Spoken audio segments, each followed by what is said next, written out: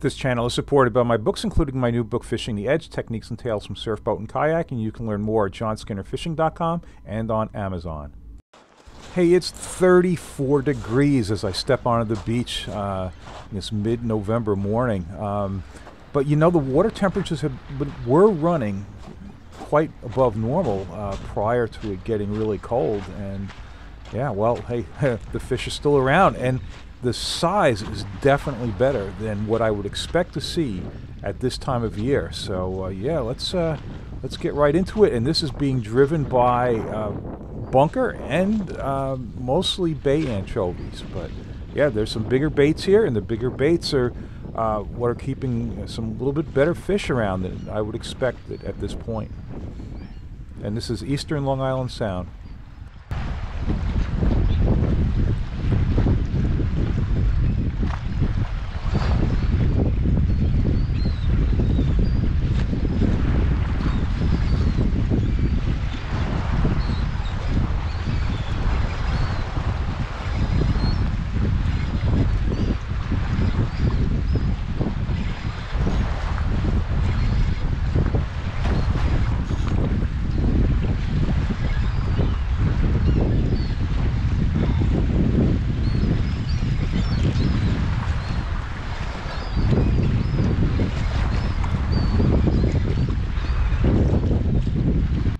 So this is the eight foot dark matter Skinner rod. Uh, there's now a one piece version of this. This is the two piece version. I actually don't even have the one piece myself yet, but um, they are available at J&H Tackle. The nine footer is also available now, one piece. Uh, that's great.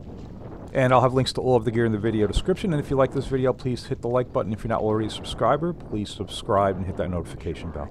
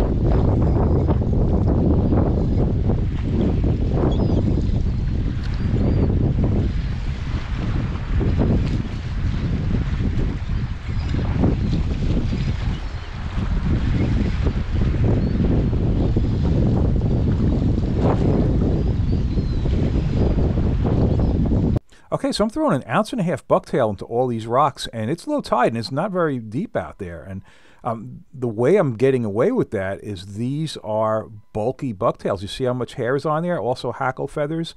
So specifically, these are the uh, John Skinner bass bucktails. Had these around for a long time. Um, the fixed hook, and uh, that extra bulk gives you a little bit of float enables you to swim that jig. You know, you know if you try to if you hit bottom out here, you're gonna snag it. Um, and I almost never ever lose a bucktail. Um, you just start that retrieve as soon as it hits, and uh, a moderate retrieve will swim it right above the structure, and it's deadly.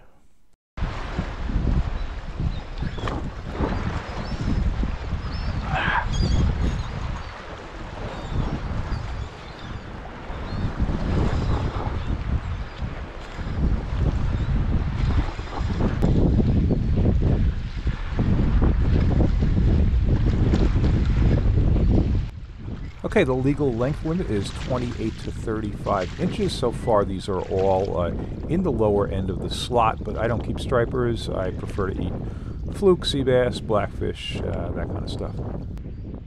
I'm not sure how well it's showing up on video, but I'm able to cast just beyond that rock. Uh, I can see that hit. Yep, I can see it hit just beyond that.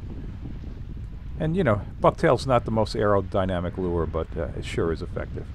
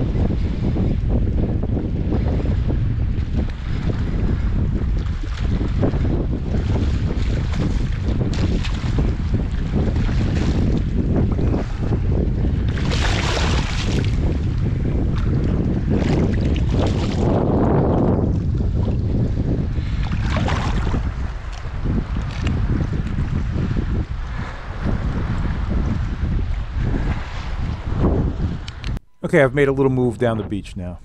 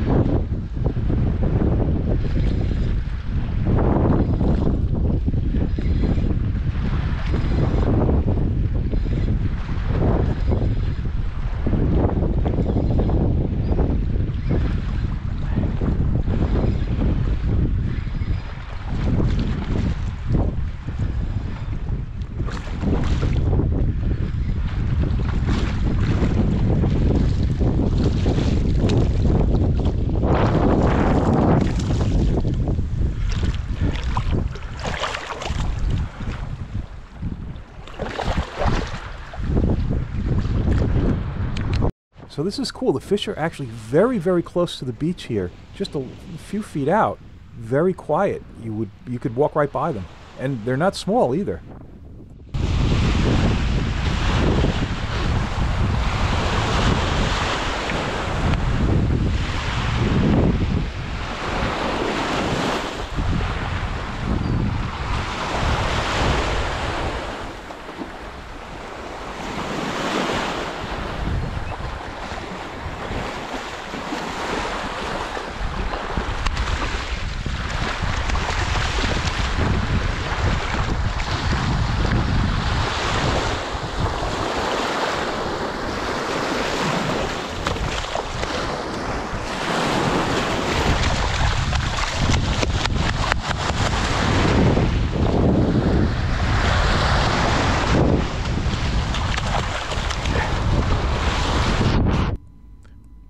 Okay, where the X is, looks like a little smudge. Watch. That's a school of adult bunker. Maybe only 10 or 12, but um, you know, I've seen very few uh, adult bunker in the Eastern Sound this year. Um, and here we go, anchovies, bay anchovies, and these are all along the shoreline. And that's really the predominant bait. But between that and the bunker, yep, we've got the fish in here. Yeah, if I sound winded, yeah, I just had to uh, do a bit of a walk, but was really climbing all over the rocks. That was uh, quite a challenge as well. All right, so this is neat. You know, I've got that ounce and a half bucktail on there, which I know is too heavy for these conditions, but I had it on for distance, and now these fish are right in here. And watch, this is a great higher vantage point. You can watch them swim up behind it. It just doesn't look natural. I know it's wrong. Look at them all. and they don't want to eat it. And uh, yeah, I'm going to take a couple of casts with it, and, and they're not going to eat it. But as soon as I go over to a one ounce, you know, it's got more natural motion in it under these conditions at this depth and retrieve speed, and it's going to work fine. But man, they don't want this ounce and a half. But it's it sure is fun to watch the fish come up behind it.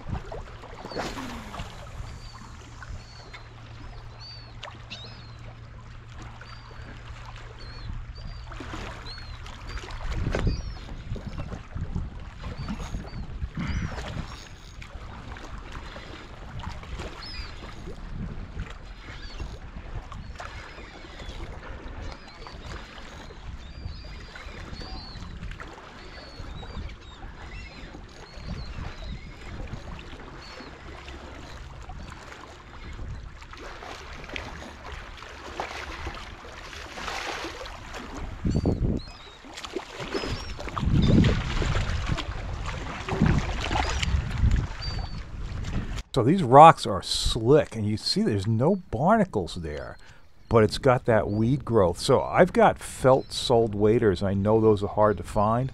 Um, there's uh, the felt soled uh, hellbenders from Frogg Toggs, and uh, yeah, it, they work very well on this stuff. But boy, you could really get hurt on this because it's slippery.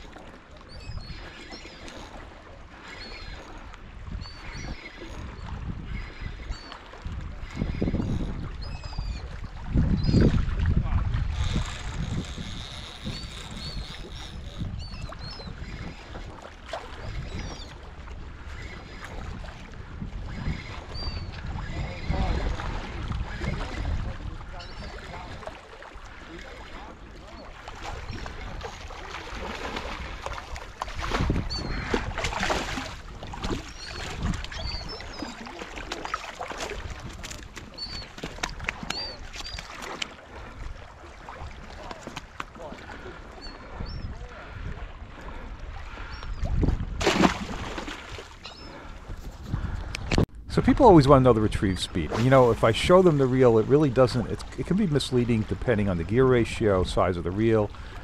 All you're looking to do is swim the jig above the bottom without getting hung up. And you, you don't have a lot of water here. Maybe it's eight feet, so there's not like um, you know a large range in doing that. I mean, if you're above the bottom and not like skimming across the top of the water, well, then you're kind of in that right zone. So you just have to adjust. You know, you feel it tick the bottom, and uh, you know, make an adjustment. Uh, you know, pick up the speed. So.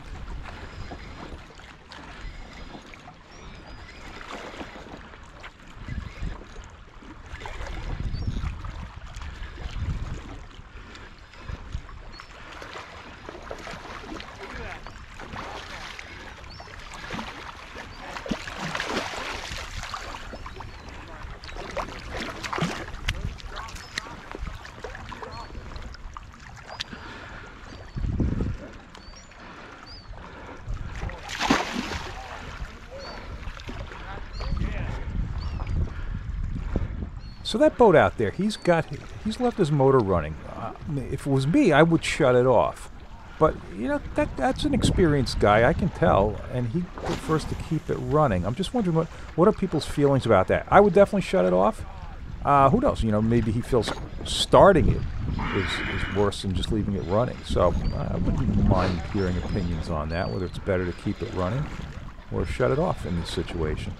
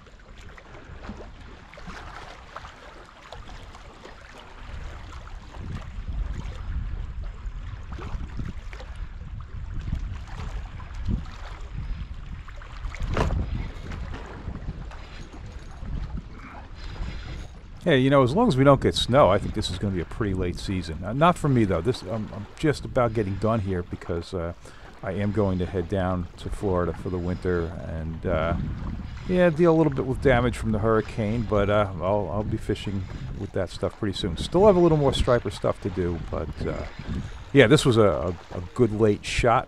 And um, hey, with all this bait, all these fish, uh, you know they should be hanging around right to December, I would think. So, right, if you like this video, please hit the like button. If you're not already a subscriber, please subscribe and hit that notification bell. And don't forget my new book, Fishing the Edge, Tales, Techniques and Tales from Surfboat and Kayak. Available at johnskinnerfishing.com and on Amazon.